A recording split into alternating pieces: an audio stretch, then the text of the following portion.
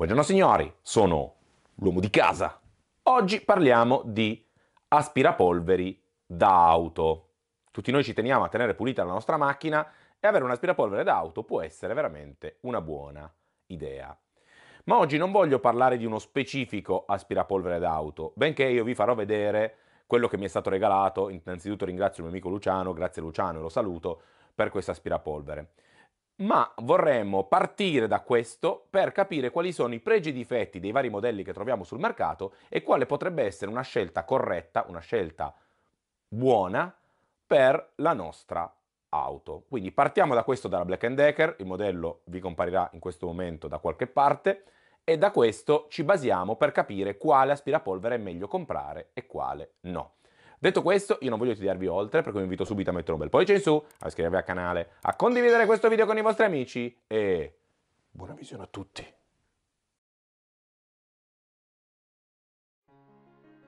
Bene signori, vi faccio vedere l'unboxing di questo aspirapolvere, giusto per farvi notare subito il problema in cui mi sono trovato davanti subito appena l'ho aperto. Come potete vedere, questo aspirapolvere ha un cavo, è alimentato tramite cavo e questo cavo finisce con una presa accendisigari.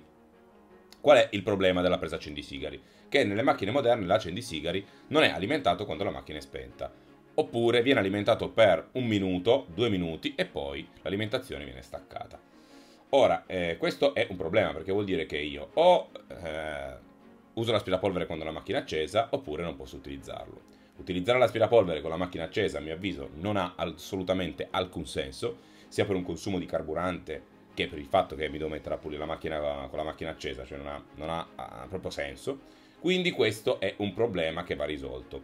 Io l'ho risolto utilizzando l'accessorio accendisigari che ho trovato dentro il mio booster, booster di cui ho fatto la recensione qualche tempo fa. Come sapete, i booster per auto non sono altro che delle grandi power bank con un accessorio che serve per dare lo spunto alla batteria.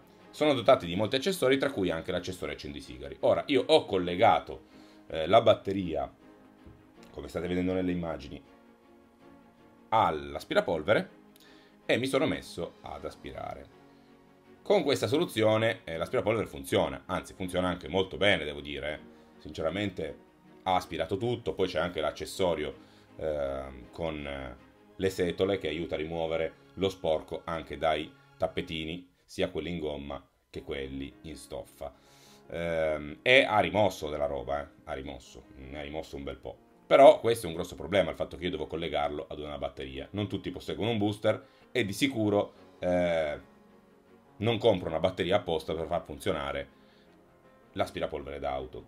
Quindi, cari signori, a mio avviso questo modello non va assolutamente bene per la nostra macchina. Dobbiamo andare a cercare un modello che abbia la batteria. Quindi facciamo una cosa, andiamocene su Amazon e cerchiamo aspirapolvere da, da auto. Polvere da auto, batteria.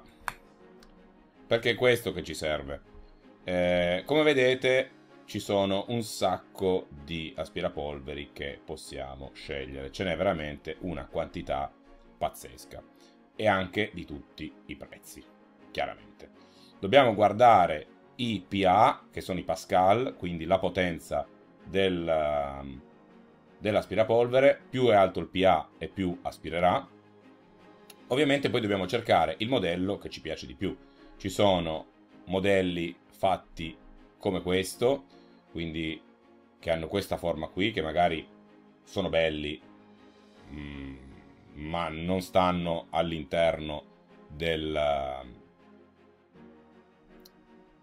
di qualche vano all'interno della nostra macchina. Ci sono questi che sono molto molto molto piccoli e quindi che possiamo tenere tranquillamente dentro il portaoggetti eh, che secondo me sono la soluzione migliore. Come vedete questi hanno un semplice cavo USB che possiamo caricare direttamente in macchina. La batteria eh, fa il prezzo, questa batteria è abbastanza piccola, 2000 mAh, 25 minuti, ma 25 minuti per aspirare la macchina sono più che sufficienti. Comunque possiamo andare a sceglierci il uh, modello che ci piace di più, io magari in descrizione vi lascerò alcuni link, però il concetto è che eh, alcuni link per fasce di prezzo, il concetto è che se vogliamo un aspirapolvere d'auto, un aspetto fondamentale è che deve essere per forza a batteria. Perché se ha il cavo, nelle macchine moderne facciamo veramente molta, molta, molta fatica. Tra l'altro questo modello qui che io ho preso a caso ha 18.000 eh, Pascal, che è veramente tantissimo, è piccolissima, il filtro è anche lavabile nell'acqua, quindi direi che già questo modello io ve lo consiglierò di sicuro perché veramente uno spettacolo si vede da qui e il costo non è neanche eccessivo.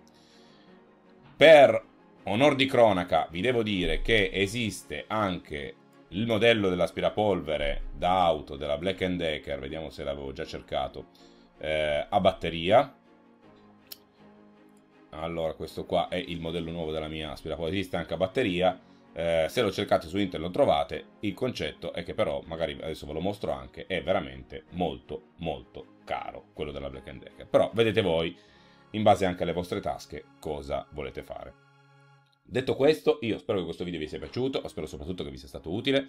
Eh, se avete qualche domanda da fare, ovviamente scrivetemela qui sotto nei commenti, così da eh, insieme cercare di venire un po' fuori per trovare il modello migliore di aspirapolvere d'auto. Raccontatemi la vostra esperienza e vediamo cosa ne viene fuori. Detto questo, io vi saluto e ci vediamo al prossimo video.